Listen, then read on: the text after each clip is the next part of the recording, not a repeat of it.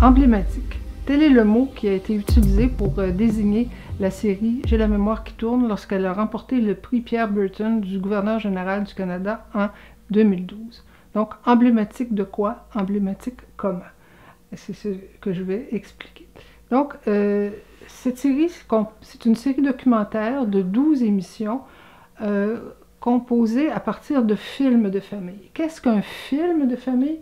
Un film de famille, c'est tout bonnement un film qui a été filmé à l'intérieur d'une famille pour capter les souvenirs familiaux. Euh, ces films ont été recueillis par les productions de la Ruelle à travers un appel à tous vers 2008-2009 et ils ont recueilli en tout 20 000 bobines de films Super 8, 8 mm et 16 mm. Et la question donc euh, qui est intéressante, c'est comment ont-ils réussi à passer de ces souvenirs familiaux à une mémoire collective et à devenir quelque chose d'emblématique? Donc, il y a cinq mécanismes qui ont permis ce passage de, euh, de souvenirs familiaux à la mémoire collective. Le premier, c'est euh, la multiplication des images sur un même thème. Donc, j'ai dit qu'il y avait 12 émissions. Ces 12 émissions portent euh, sur différents thèmes. Donc, les quatre premières, c'est sur les saisons. Ensuite, on a sur...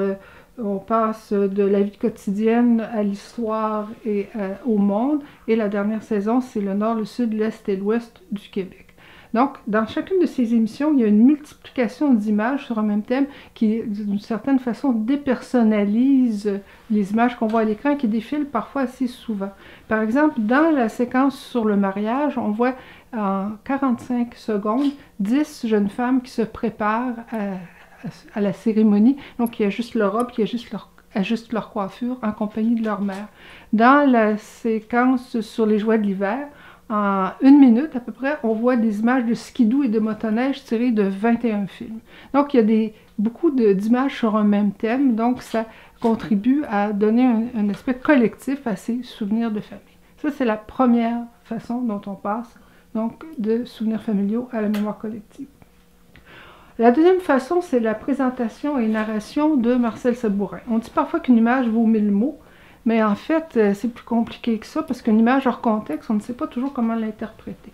Donc, Marcel Sabourin est là pour présenter les images, attirer l'attention, dire regardez ici ce qu'on voit à l'écran, euh, préciser des choses et dire voici un vieux rituel qu'on a seulement sur un rituel un peu oublié qu'on a seulement sur des vieux vieux films.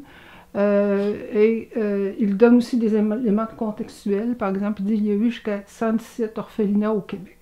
Donc, Marcel Sabourin, avec la faconde qu'on lui connaît de conteur, il est à la fois la voix des producteurs, la voix des cinéastes amateurs et la voix des Québécois, parce qu'il parle à la fois au nous, au, je et au tu. Donc, il parle euh, au nom de, de, tous ces films et de tous ces cinéastes et pour le Québec. Mais il n'est pas le seul à commenter. Donc, il y a une troisième façon qui permet de passer de la mémoire familiale à la mémoire collective, c'est on a des invités.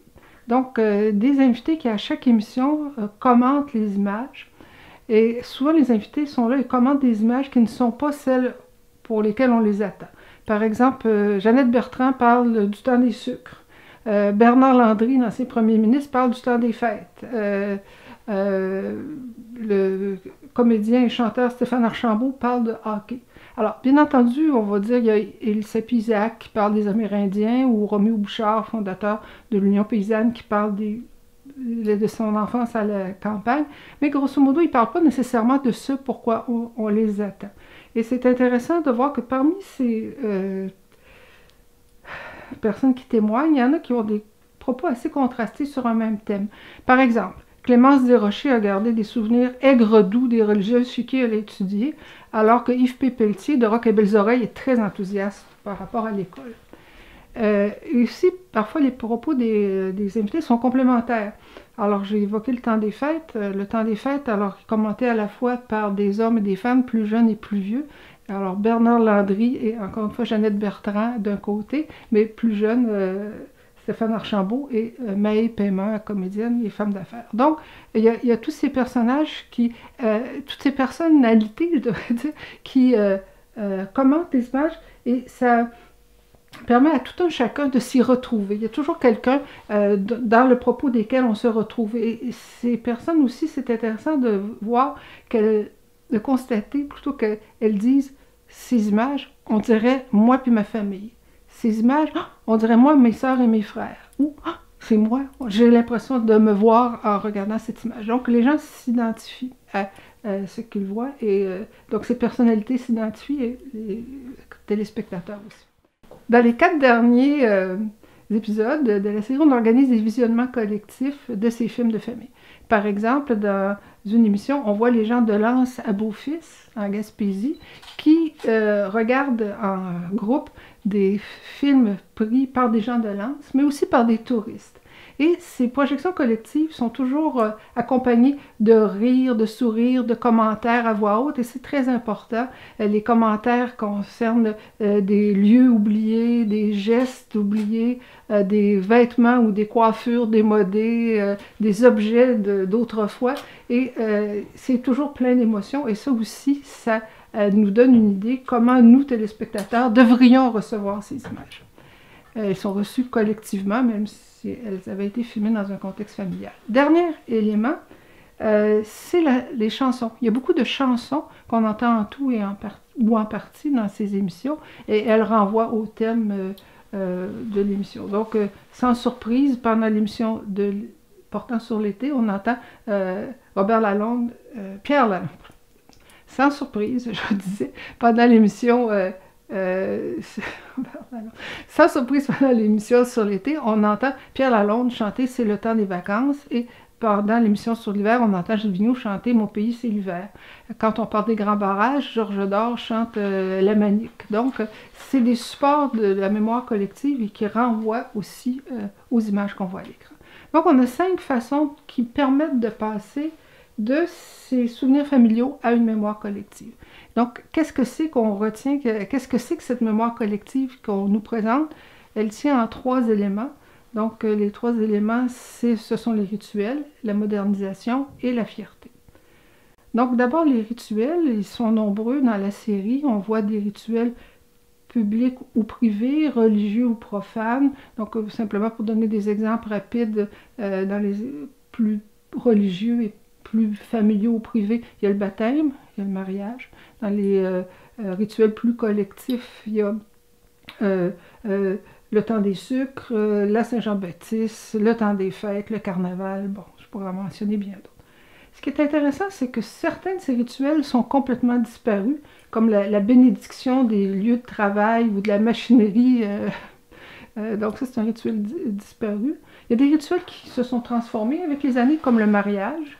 Donc les gens se marient encore, mais c'est plus tout à fait dans les formes que ça prenait autrefois.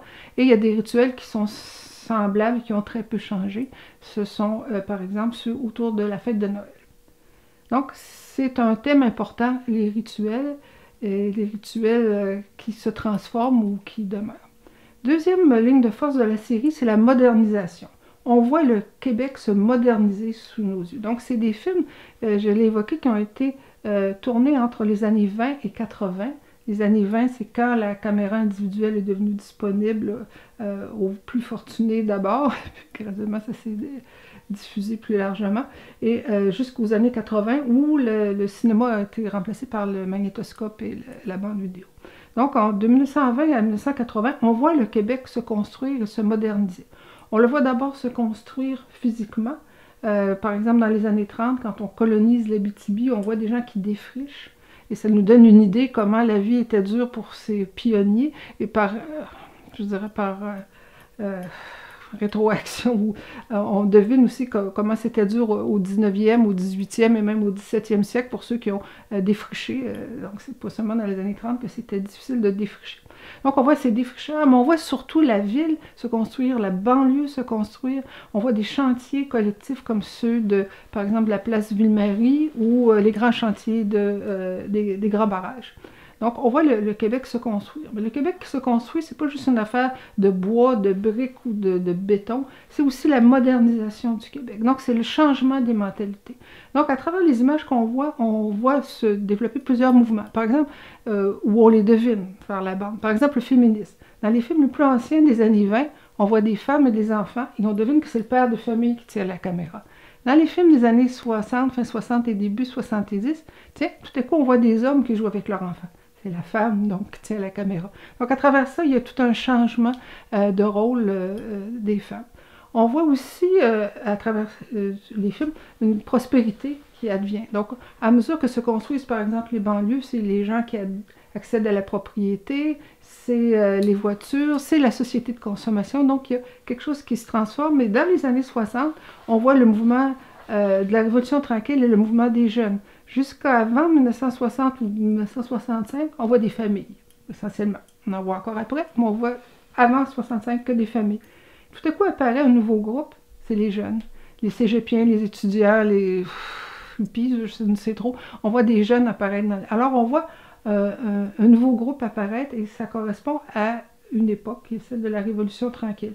À travers les films, on voit aussi euh, euh, donc j'ai parlé du féminisme, du mouvement des jeunes, on voit aussi le mouvement ouvrier, on voit différents mouvements sociaux et euh, on les voit vraiment à l'écran et les commentaires renforcent euh, ce qu'on voit à l'écran. Donc les deux premières lignes de force de cette série, c'est les rituels et la modernisation. On les voit vraiment à l'écran. La troisième ligne de force, c'est la fierté. La fierté, on ne la voit pas, mais on l'entend tout le temps. La fierté, c'est euh, beaucoup porté par Marcel Sabourin, mais aussi par tous les invités. C'est, euh, par exemple, quand Marcel Sabourin dit « Hommage à Joseph Armand Bombardier qui a inventé le skidoo. Hommage à Arthur Sicard qui a inventé la souffleuse. » C'est quand Stéphane Archambault euh, dit, par exemple, Maurice Richard, c'est tout un peuple qui, à travers lui, s'exprime et c'est le héros d'un peuple. donc, il y a une fierté. Et la fierté aussi, c'est celle euh, du Québec Inc. Donc, euh, les films les plus anciens montrent euh, des, les, personnes qui détenaient les caméras parmi les premiers dans les années 20-30, c'était des gens plus riches. et c'était souvent des hommes d'affaires anglophones. Alors, à, mesure que le temps passe, on voit que ça se démocratise et que ça va de plus en plus dans la classe moyenne.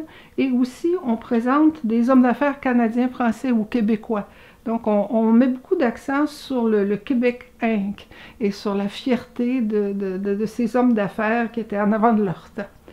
Euh, donc, cette fierté est importante et elle s'exprime de différentes façons. Euh, je dirais en conclusion, c'est intéressant de voir comment Marcel Sabourin dit euh, cette fierté, ben, elle l'exprime de la façon suivante c'était du monde pas ordinaire qui ont construit un pays pas ordinaire. Ça prenait du monde fait fort pour vivre ici, puis rester ici, puis je dirais s'enraciner dans le froid. Donc il y a cette euh, euh, vision euh, très, je dirais d'une certaine façon, nationaliste, mais pas dans le sens ethnique, mais dans le sens fierté collective. Donc cette série, en quoi est-elle emblématique? C'est qu'elle nous présente l'histoire du Québec à travers l'histoire des Québécois, à travers l'histoire de la vie quotidienne des Québécois et des Québécoises, à travers leurs accomplissements euh, quotidiens. Et en ce sens, la série est bel et bien emblématique. En terminant, ben, j'espère que ce que j'ai raconté peut-être vous donnera envie de lire mon article dans les cahiers des 10, mais surtout qu'il va vous donner envie de visionner cette série, J'ai la mémoire qui tourne, qui est disponible dans une bonne bibliothèque près de chez vous et possiblement vous adressant directement aux éditions de la rue.